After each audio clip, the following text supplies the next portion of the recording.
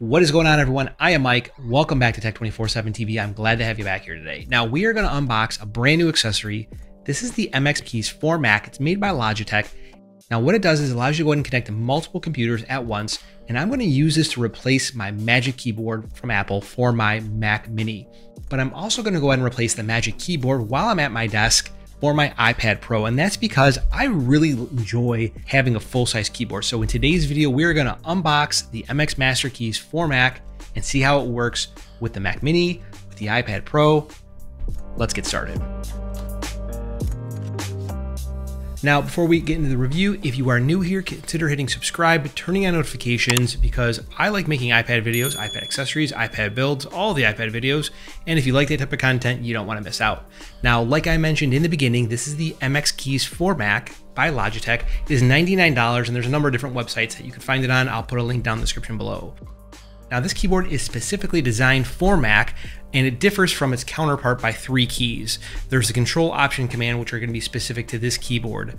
Now, the other version that which it works with Windows, it doesn't really differ from a functionality perspective. It does differ from an aesthetic perspective, where this keyboard is going to be gray and black. The other keyboard is more like a dark gray. Uh, I don't necessarily care for it, but it's something that you might want to go and consider if you find yourself using both a Mac and a Windows machine. Now this keyboard allows you to go ahead and switch between three different devices, either using Bluetooth Low Energy, which works out of the box, or the included dongle. Now for me, I'm using this with the Mac Mini and it does have some Bluetooth issues, so I'm using the dongle just for better connectivity. But when I have it paired to my iPad Pro, I use obviously Bluetooth. Now, the reason why I purchased this is because when I am at my desk, I like to use this stand here. This is the Satechi aluminum stand. It's around $45. Uh, this version actually just came out, but I, I have another version right here, which I like stands. I don't know what it is. Now, when I'm at my desk, I like to go ahead and put this in a certain orientation. And because I have it in this orientation, the Magic Keyboard doesn't really make sense. Uh, it's in portrait orientation and you can't have a Magic Keyboard. So I like to have it uh, sitting like this because it's easy for me to glance at, look, get information from, and move back to. Now with this keyboard, I can easily switch from my Mac Mini on interface 1 to my iPad Pro on interface 2. And if I want to connect this to my Windows machine for work, I certainly could and use that on interface 3. It works very similar to all the other MX series of products, much like the MX Master for Mac uh, mouse that, that's available. Now, what's unique about this is that you can not only you know, pair to three different devices, use the unifying receiver if you want to, use Bluetooth Low Energy if you want to, but there are these spe uh, specific iOS function keys, which makes iOS more usable, and that's what I want, right? I want to be able to be more productive when I'm using my iPad here at my desk. Now, not only can you use the, the you know the, vo uh, the volume, the brightness, uh, iOS function keys, the lock and unlock, but you also can do the screenshot function key, which is going to be F17. That is a lifesaver for me. You push that one button, takes a screenshot. Uh, you can use the lock button, the media controls button. So there's a lot of utility from my perspective in this keyboard for that. Now, I was previously using full-size Magic Keyboard while I was sitting at my desk and had to have a separate keyboard for my iPad, which didn't make a lot of sense. And like I said, since I use it in a stand, that to me makes the most sense for me because I don't have to have multiple things on my desk and I try and keep my desk as clean as possible even though sometimes that's not really an option. Uh, so that for me is why I chose this. Now, in terms of battery life, this lasts about 10 days. It does charge via USB-C and there's a cable included inside the box. Uh, for the most part, if you turn backlighting off, you're going to get better battery life than with, bat than with backlighting turned on.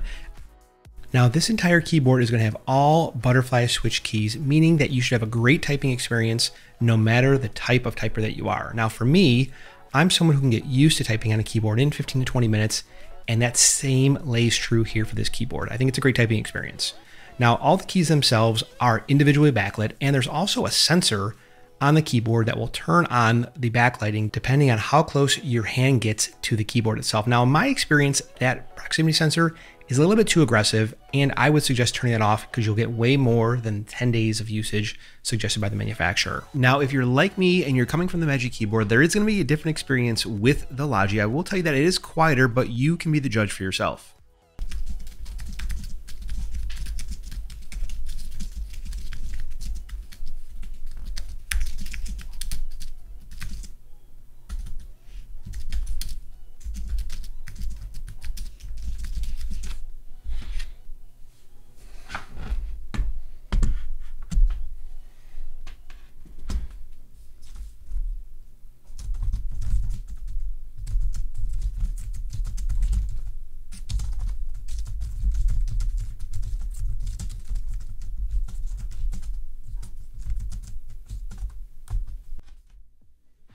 Now, what is really nice here is that this top row of function keys, they're going to be usable whether you're on the iPad or whether you're on Mac OS.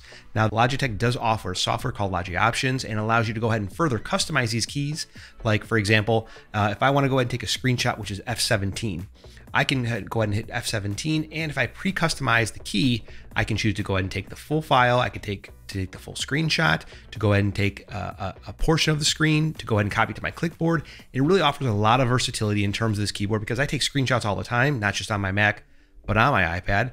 And this is kind of a, a very helpful addition instead of me having to hit Command Shift 5 or Command Shift 4 to go ahead and tape, uh, take a screenshot. Now, at the end of the day, you have to ask yourself whether or not spending $99 on this keyboard, the MX keys for Mac, is going to be worth it when there are a ton of other options on the market, especially keyboards that are Bluetooth, keyboards that allow you to go and connect multiple devices. Now, I would say that at $99, this is going to be worth it for a couple reasons. So, one, it's going to be the integration. So, if you have another Logitech product like the MX Master definitely adds a lot of versatility into your setup because it has a lot of the same kind of features where you can go ahead and customize, you know, key clicks based on the application, want to have them system wide on the Mac specifically. Now, second thing is going to be the unifying receiver. Uh, most of the keyboards that I have come across function well with Bluetooth on the Mac, uh, on the Mac Pro, but the unifying receiver, since it's bypassing that functionality, its keyboard and the mouse are connecting directly to the unifying receiver, it doesn't use Bluetooth. Now, in that regard, I think those two things make the keyboard worth it itself, but I would love to know from you which keyboard are you using? If you're looking for a Bluetooth keyboard, is this in your consideration pool? Let me know down in the comments below. Now, I am Mike. This is Tech 24 7 TV. Guys, I'll talk to you next one.